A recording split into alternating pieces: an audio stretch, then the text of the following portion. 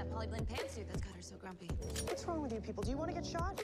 All right, this is just awkward. Well, I guess you must have missed one then. I find it very hard to believe. You know, Ready I- and go. Fucked around and got attacked. What the hell are you doing? Rescuing you. I can take care of myself. I'm always tired, On behalf of the Time Bureau, I am placing you and your team under arrest. Took you long enough.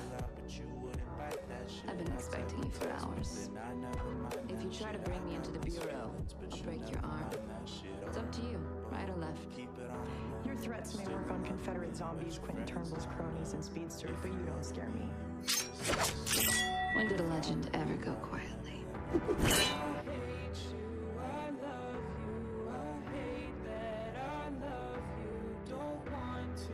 I should have recruited you to the Time Bureau. Never lose a team. Your mistake.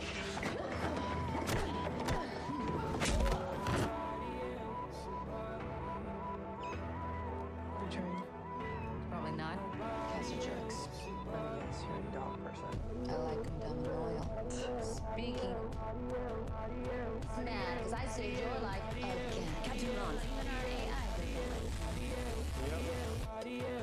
Friend Learn that the legend should not be interfering with Bureau affairs. Maybe when you stop screwing things up. Uh. Put her on. Hey, Ava. How was your day? You do realize that that little stunt of yours could have destroyed us both. You tried to kill us first. What a bitch. Took the words right out my mouth, Gideon. Agent Sharpe, it's been a while, thankfully. Captain Lance? Let me guess. You saw that there's a level 12 anachronism and you're calling to lecture me on everything that we're doing wrong. No. Okay, yes. Hmm. But I also heard about Martin Stein and I'm calling to express my condolences. Well, thank you. And to be honest, my team is still pretty raw from losing Stein. We could use an outside perspective. Are you asking for my help? No. Okay, yes. All right. What's the plan? Costumes are ridiculous. Yeah, you look good. Oh, I'm not really the husband kind. Perfect. Darhk and his daughter are just too powerful. They have magic that. And I can? No, I'm- Do you have any idea how hard this has been on us? I really am sorry, Sara. Screw his orders. I need you here.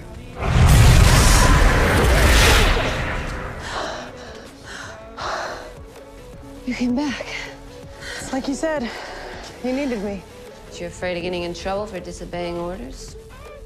It was worth it. See you again.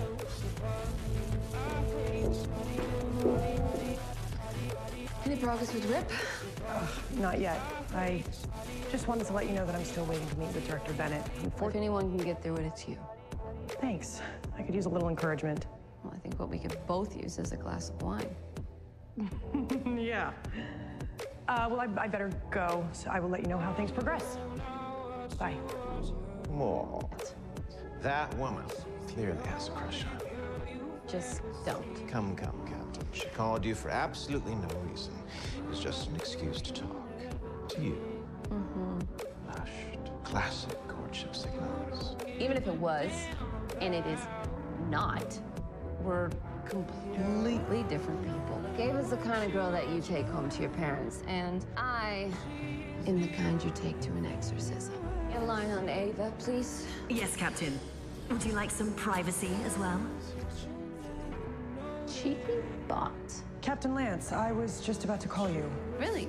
I mean, cool, because uh, I just wanted to compare notes, and I thought that maybe if you'd like to come to the ship. There's no time.